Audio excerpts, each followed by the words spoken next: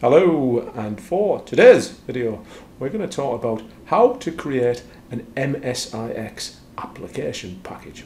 What is MSIX, you might ask? MSIX is Microsoft's new entry into application packaging. It's intended to be the de facto standard for packaging up your Windows applications in a simple and modular and user-centric way. Under the hood, it's a bit of a blend of FSLogix and AppV. As I said, it's intended to be very simple and easy to use Only time will tell how easy it is actually to use in the real world when it gets to deploy all those difficult applications, but there's certainly a lot of promise and a lot of noise about it coming out of Microsoft. So something we're going to say a lot of whether it's successful or not, I guess. And the purpose of this video is to just show you how to create a simple MSIX application package. We're not getting into MSIX app attach yet. We'll cover that in a separate video. This is just how to create a basic MSIX package and deploy it to your users. Now, there's a couple of things you need to do before we start creating an MSIX application package. Main one thing is to get ourselves a packaging machine, right? This is basically a clean machine that we do the package capture on. It's sometimes called a sequencer. We're going to call it a packaging machine. And what happens is you restore it to a clean state before you start creating any application packages. Now obviously the best thing to do for this would be to use a virtual machine so if you've got any kind of hypervisor, Hyper-V on Windows 10 would do it, spin yourself up a virtual machine.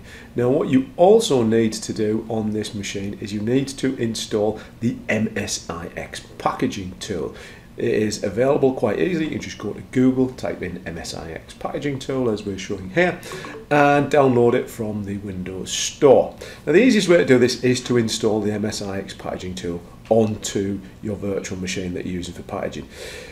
If you do it that way, remember that the Windows packaging machine, the VM, has to be Windows 10 version 18 or 9 or higher.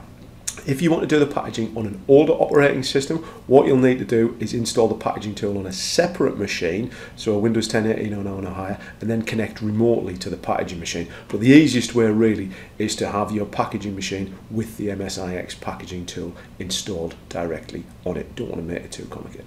Now, once you've got your packaging machine and you've installed the operating system on the VM and you've got all your patches installed and you've got the MSIX packaging tool there as well.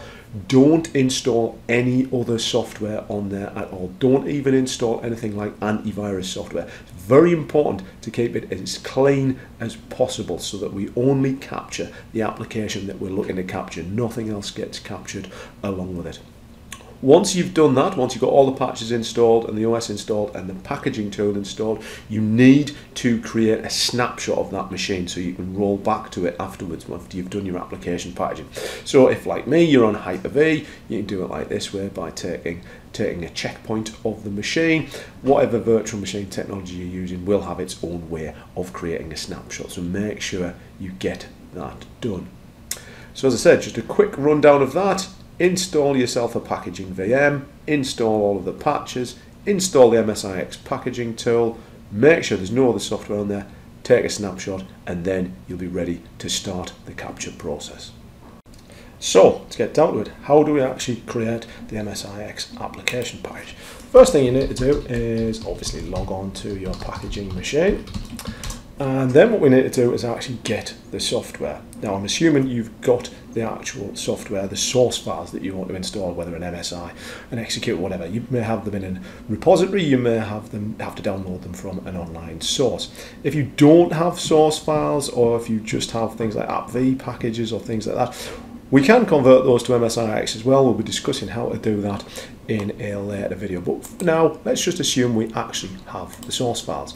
So I'm going to go to an online repository that I have of my source files and just grab them from there and copy them down to the local packaging machine. Obviously, because we've taken a snapshot beforehand and we're going to revert to the snapshot when we've finished, this means you don't have to worry about copying files to the local machine because they're going to get wiped out as soon as you restore back to that snapshot. So let's just take, as an example, we'll use this one, which is virtual DJ. Let's just copy that across to the packaging machine and then we can use it.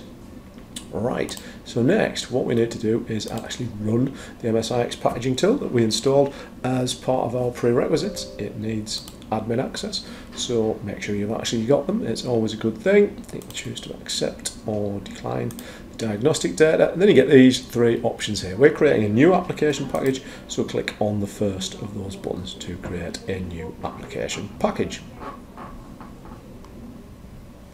Right, as I mentioned earlier, you can either create the package on this computer, which is the way I'd recommend to do it. You can connect to a remote machine or even a local virtual machine using Hyper-V. Obviously, if you want to package on older OSs, we'll show you in a later video how to use some of the second options. But right for now, the easiest way is to simply create the package on this computer. Now when you click on next here, what it will do is actually do some pre-flight checks. It'll check if the Microsoft packaging, uh, the MSIX packaging tool driver is installed. It'll disable Windows Update because you don't want Windows Update running in the background and updating things and downloading files while you're trying to capture that. And it will also come up with some other recommendations as well that you can optionally select.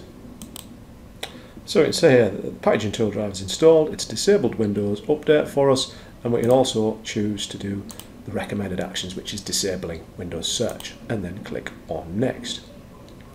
Now, first of all, what you need to do is actually choose the installer that you want to package. So I've put this on the desktop, so we'll just insert that in there you can put in any installer arguments option there. Now, next we come to signing. Now, when you deploy MSIX packages to machines, it's important to sign them. You don't want the users in installing unsigned packages. You can choose to sign it with Device Guard, but that means signing in with Microsoft, or you can just use a PFX certificate file you created earlier. I would always recommend actually making sure it's signed. And obviously, that certificate has to be on the machines that are going to run this. We'll talk about ways of deploying that in future. Now, you could use a self-signed certificate or something like that, but we've already created one earlier and I'll just browse to where it's located in this packaging folder and we'll just select our certificate there.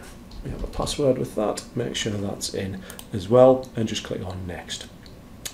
Now it's also important to fill in all the relevant details down here if I can get the right bit for the publisher give it whatever name you want to put in there package name, display name, put the publisher name in there and give it a version. This one's actually pulled the properties from the actual file, so it's put the version in there.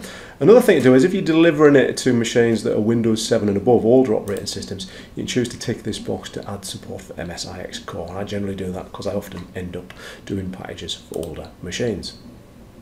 Once you've done that, click on next and it will actually launch the installer. If you're familiar with app-v, you're probably pretty familiar with the way that it's doing it through this uh, packaging tool here.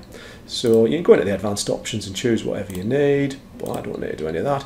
We're just going to click install. And right now, as it installs, it's going to capture all of the changes to the machine and wrap them up into an MSIX file.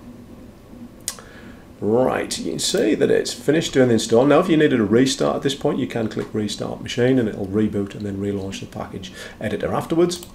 We don't need to do that. Now what you need to do is actually do a first run of the applications. Now they say you're supposed to be able to run it from here by right clicking and choosing run. Well that doesn't actually work. So what you'll need to do is actually just run it directly from the shortcuts either on the desktop or in the start menu. Make sure it's run for the first time. Nothing for us to configure here, so let's just make sure it runs okay. And then we shall just quite simply close it down, switch back to the packaging tool, and then click next. Now it's going to stop listening for the capture now, so you're asked to confirm, so click yes, move on. Now it starts preparing your package. Just give it a minute here to finish. There's no services in there, so that's good. Click on next and then you've got to choose where you'd like to save it. I'm going to save it into that packages folder that we went into earlier. So let's just bang it in there and let's give it a name of virtual DJ. Let's just click on save there. You can edit the package here now. We're all done. Let's click create and let it go off and create our MSIX package. And that's it, it's done. You can choose to edit it further now if you want to, or you can simply click close and it'll clean up the environment after itself and the package is actually fully created. And right now, we're done with our sequencing machine, our packaging machine, and we can go and roll that back to a snapshot to ensure it's ready for the next application we want to package. Now, how is easy is it to deploy this MSIX package we've just created to another machine? Now, if we switch back to this machine here, which is my main Windows 10 desktop, and have a look down through the Start menu here, you'll see under V, there is no mention of anything for V. Virtual DJ is not installed, right?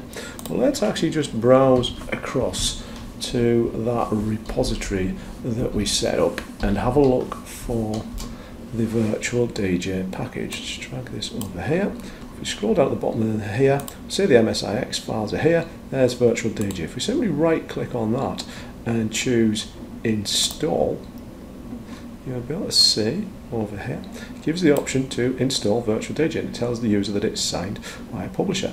If I simply click install on here, it'll run through and do the installation directly onto my machine. So now if we look in the start menu here, you can see right at the top Virtual DJ 2021. And if I now choose to launch it, it's always going to launch on the wrong screen. we go, at long last. And now we can say that it's running perfectly on this machine and it's even enumerating all of my music into there as well. And that's how easy it is to install. And when it comes to uninstalling, you just simply need to go into the apps section over here and find virtual DJ in this list. Which will be there somewhere. Right there. Choose uninstall. And the package is now removed. It's that easy for the user to find an app that you've created, an MSIX package, install it and uninstall it for themselves. Now, there are smarter ways you can deploy these things automatically onto machines based on user's group memberships. Well, that's something that we'll cover in another video. But there you go, just for now. That's how easy it is to install, uh, to create an MSIX application package, and that's how easy it is to deploy it to your users' machines.